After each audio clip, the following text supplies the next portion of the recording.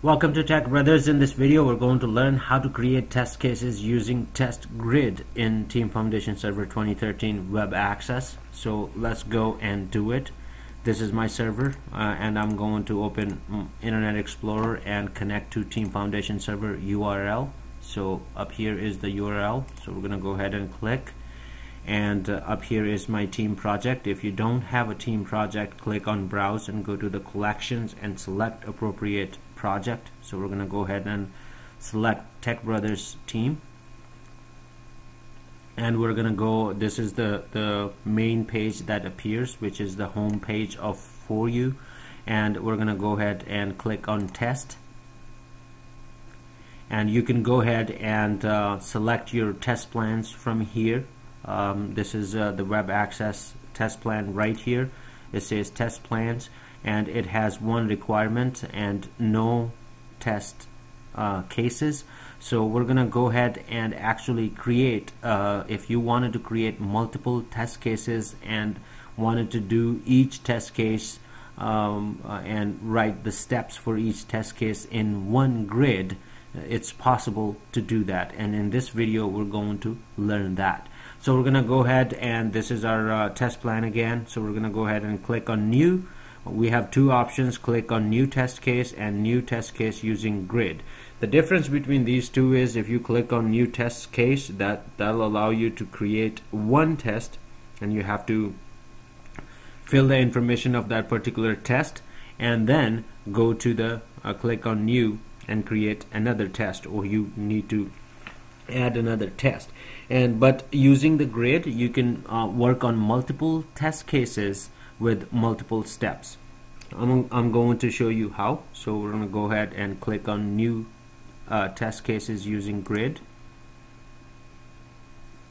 So this is our first, the title up here is our test case title.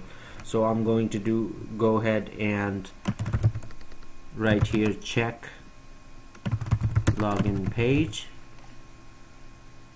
and th these are the steps up here that you need to take and each step has expected result.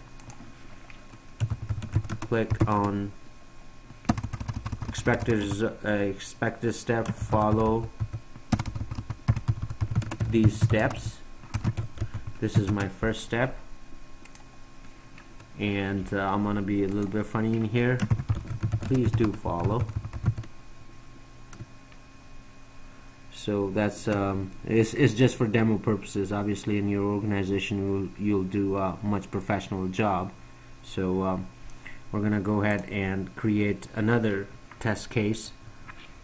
And test case name is feature action plan feature added. Should appear on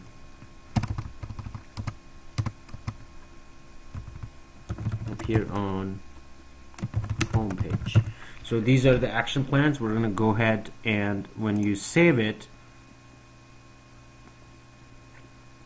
it's going to give you the rest of the steps. So you can fill right here, uh, click right here.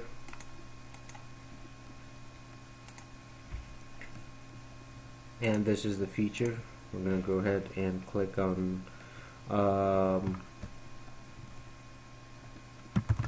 open login page. I always give that option. Up here see if password autosave save option appears.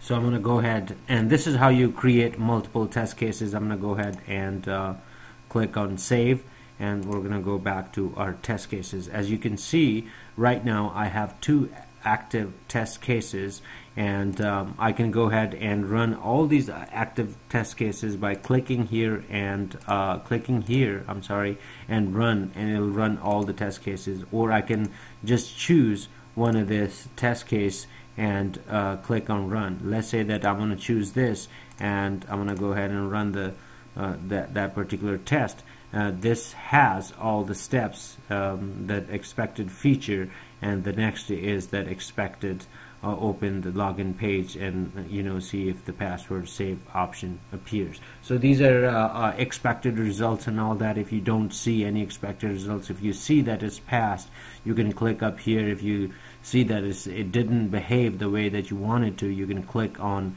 up here uh, on X bar and it'll fail. It'll show failed and if you wanted to create a bug out of that you can click on this. So this is how you um, really use the grid. Uh, sometimes if you wanted to work um, on multiple uh, test cases and you have a lot of steps or maybe you wanted to give a high level uh, aspect of all the test cases that needs to be done and later on want to work on the uh, uh, steps you can use um, this option new test case using grid. And it's it makes life much more easier if you're if you have the test cases but you don't have really the steps. Maybe you're waiting for your developers to give you the steps what you should do in order to in order to uh, test your application really good. So in this case this is a, a, a perfect situation using uh, web access and using the test case grid. And I hope this video helps